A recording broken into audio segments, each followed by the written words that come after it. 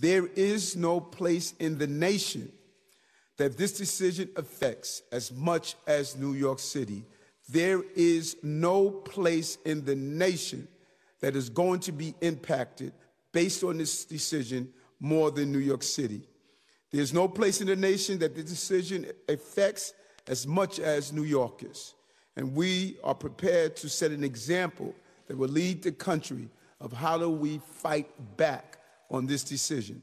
Today's Supreme Court decision may have opened an additional river that is going to feed the sea of gun violence in our city and in our nation.